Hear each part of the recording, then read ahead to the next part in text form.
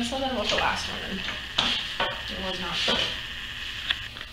And I wanna be able to do a handle this time. I don't like these bats because you never tell when they're supposed to. The three, it's always the three. These three knobbies? Yeah, that's on this edge. That goes on the, um, the three dots goes on your bat pins. Yeah. I pretty much just have the bat in your hands, so that way you can really see the piece you're working on. Good deal. Alright, so when I open it up, I want this to be a little bit, you know, loose here. Because when I open it up, it's gonna naturally force those walls out, cause I'm going straight down to the back, pin, Sure, bat head. Um,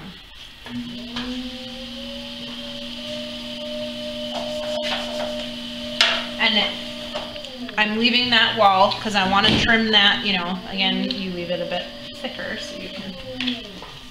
But yep, so now we're, Would you like to sit here, Bunny? Because No, I think you have no. a really good shot from here.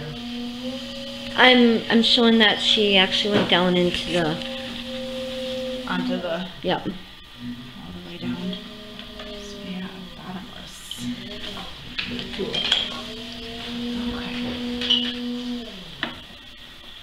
Amy, you're magical.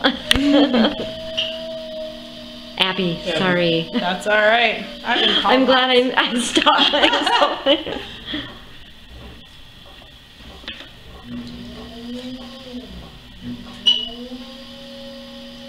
Alright, I wanna make sure that I have a whole bunch to pull out for that flange to go over the lip.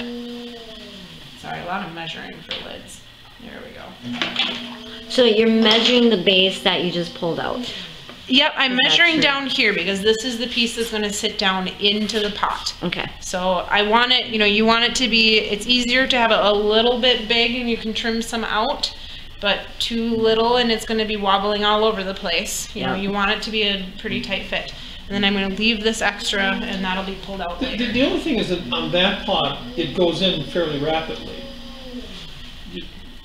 You- Does it not, which pot are you making it for? The one upside down, right? Yeah, yep. But, but that goes in pretty rapidly, so you can have the flange too long. It won't be too long, no, but I can cut that out. Right, But generally I want it to be about the size, I mean, you want it relatively Like the size. other, your other, one you just threw, that flange is, that's close to pretty much, that'll Yeah, work. yep.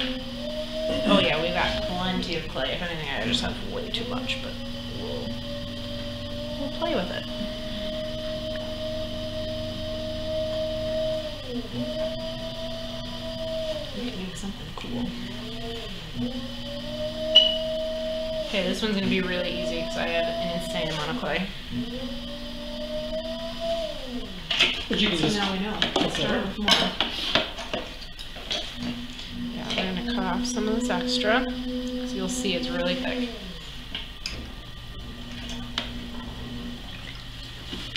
Try the sponge, there it is. Because I still want this wall, I mean, this is still a wall in here, so I mean, you don't want it to be too... it reminds me of those, those, those Indian cooking pots. You know what I'm talking about? Yeah, Nope. yeah, I do know what you're talking about. I believe they're Indian, aren't they not? I'm Mon- sure, but or know. Mongolian or something. Yeah, yeah. They've got a base and then they, and uh, they, they, they were used like a crock pot. Okay. Okay, so we just keep working it in. It technically still has a little bit of a hole here. And we can just kind of... And you can turn that into a knob.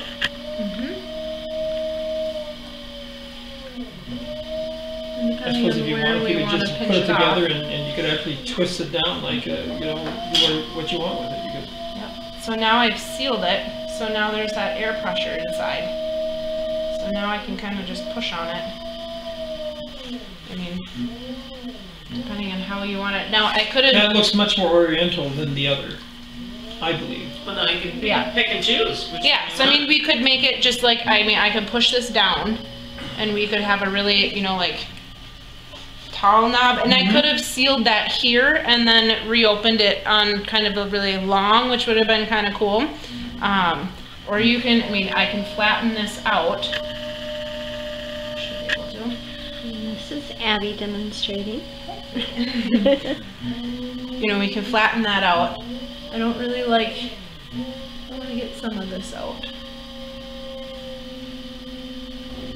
I mean, this is where you're just kind of playing with what you want this, but here, we have got a ton of weight here.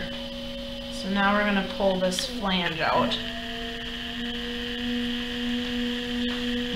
Like you're, like you're almost making a plate. Yeah, Sure. yep. So that's, I'm just pulling this like straight out. So I'm going, here is, right here is where my base of my wall is down here. So I'm kind of starting my pull right from in there and pushing against that and then I catch it with my finger on the bottom and then So you you have two pieces of clay coming together at that point, right? Right here? Yes. Yeah, yep, because that's, my finger is directly over where this And bottom Are wall you concerned is. about air getting in that? You know, in between those two pieces? No, because this is all one piece, like this is all connected. What do you mean? Well, it seems to me like it was like this, and then you sort of, was it? Because this was just a lump, this was just like oh, that it was little just a lump. okay. Yeah, and It so I'm wasn't- just. It wasn't like two separate. No, pieces. not two separate pieces. Yeah, so I'm just pulling that extra weight, Okay, and thanks. we're just pulling it straight out. And so you could now cut, you could cut that off. you can cut that off. If you don't want it to sit out, if you just want it to come to the edge of the pot, then I would take this, measure like, okay, here's the edge of my pot, Mhm. and then I'm gonna go out like quarter inch, because that's how oops thick my wall is, and then you'd cut that off, and that would be your edge. But you don't want to leave that weight. I mean, it was too too much weight. So then you can, if you like that flange, you can leave it. Now you can leave this. I mean, you know, very domed, and you could make that more obvious. Yeah, it's kind of fun once it gets to this point because you can. I've played with it enough where then you end up screwing it up because it just you overwork it. But it's it is fun because you have that air pressure in there, and so you can really kind of just play with what you want.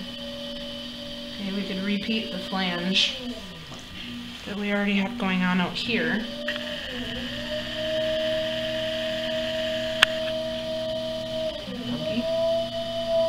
This is Yeah, I wish I had my let's mirror. Yeah, cool. Mm-hmm. I'll have to bring a mirror in next Monday. I could bring my mirror. I just mean it's just. It's, I'll remember that though when I'm look- on my wheel. Yeah, because just the 'Cause look from above, you're like, yeah. okay, that's maybe okay, but you know, what does it look like? Like, I can't see from underneath. There's a little bit of a ridge here, so we Right. could attempt to. We have that big mirror here we could carry in.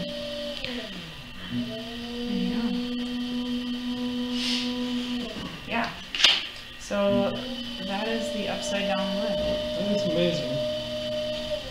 I've never seen that before. Let's put an extra little knobby there. I don't know, if you like that knobby up there or not?